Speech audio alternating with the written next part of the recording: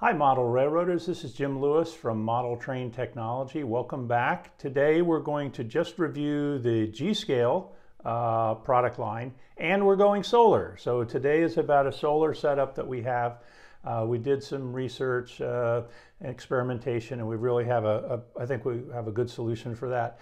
Uh, before we get to that, I wanted to just, uh, for those of you who haven't seen our previous videos or are just wanting a little bit more information, I have all of the products uh, for the signaling out here. Uh, these are all the G scale products that we make, starting with a single flasher. Uh, we have a double flasher, so lights on both sides, uh, the three light signal, and the seven light signal. I really like the seven light signal. Uh, we have these all running on our 12 volt system. Uh, so this is the, the electronics are all inside here. Uh, this is called the G controller. And all of these right now are being powered by our power module. This just happens to be convenient on the, the lab bench here. 12 volt module, it's a one amp supply. Uh, when you purchase the 12 volt system, uh, you have an option of purchasing a 12 volt power supply that has a 5 amp capacity and you can run all your signals off of that, uh, quite, a, quite a number uh, in fact. Uh, so anyway, that's the hookup. Um, I have these angled off slightly to the side. Uh, from experience now, uh, over 100 videos. We're getting better at it. Still need still need some practice, but uh, by aiming the the uh, particularly the LEDs away from the camera avoids the the halo effect. And so if I just uh, trip these now, uh, the sensors are facing me, so the train would come by, trip the sensors, and you can see the behavior there. That's the three aspects slow-mo. Uh, there's, uh, there are five or six other aspects. The same controller will operate the three light, uh, three light signal, or you can configure it to run the flashers. It's the same box, same electronics. Um, one of the questions that came up uh, from a number of uh, potential customers as we were discussing their needs, uh, they liked the flasher, they liked the controller, they understood that. Uh, and they said, well, so the train comes from the east, then it trips the, the precision detector max inside the controller. That's right. So this is one of the sensors as well as the controller.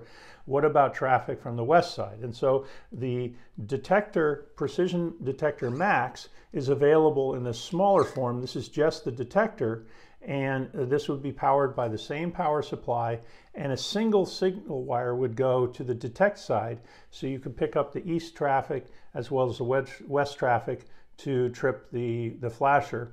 Uh, and you can run two flashers um, easily off of the single G controller, so you can have them on one side of the track and the other uh, as, you, as you wish there.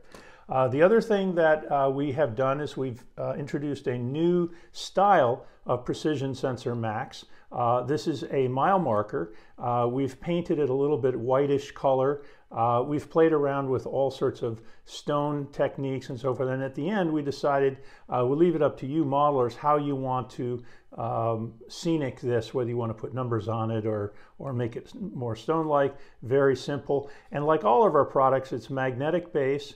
And here are the three wires. There's two red wires. The power in the system is non-polarity driven. In other words, you can connect it plus and minus, it doesn't matter.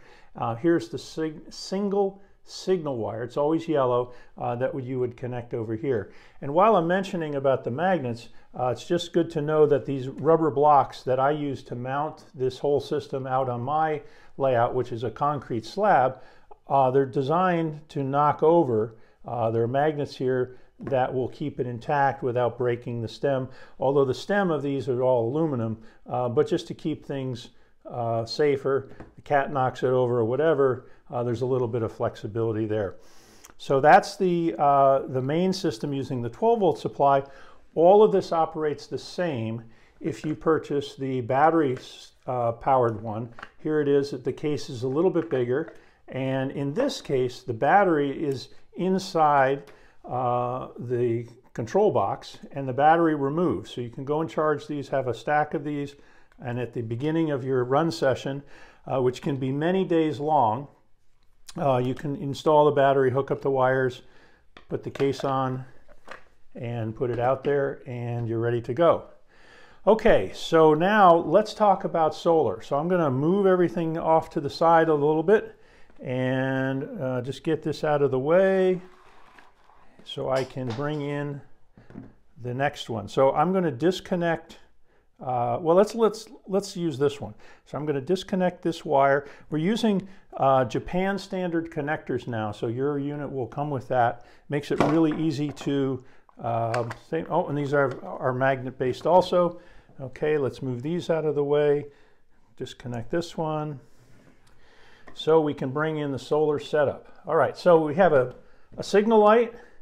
We have a controller and we'll just connect up the, the lights as we've done in the past. Just connect that up. Whoops, I need to use, I need to use this light because of the connector that I use here. Uh, we have adapt connector adapters, uh, just in case you want to go from a four light to a three light. Uh, they're connector adapters for that. All right, so here's the signal controller. Here's the barrel plug. And here is the solar uh, battery charger combination that we selected. It has 5,000 milliamp uh, battery cells uh, embedded or integrated, integrated into it. Uh, it's supposed to be waterproof. Our testing in the Florida sun and rain has done great. This is pretty simple. We like this. The mounting plate comes with it, long extension cord, and the, the barrel plug and this barrel plug are compatible. So we just plug it up it fires up and there we go. And so we would trigger the train coming by and this will work off of this. Now the, the battery in here is similar to the battery we used in the battery version, which means that you can run three or four uh, signal systems off of this battery, uh, off the battery that's in this inside this charger. Or you could run one or two and, and extend the running length. Uh, it doesn't really matter. Uh, these are available now on our website. So this is going solar. Um, and the, the advantage here is that you don't have to bring the batteries in and charge them and so forth. So that's kind of nice.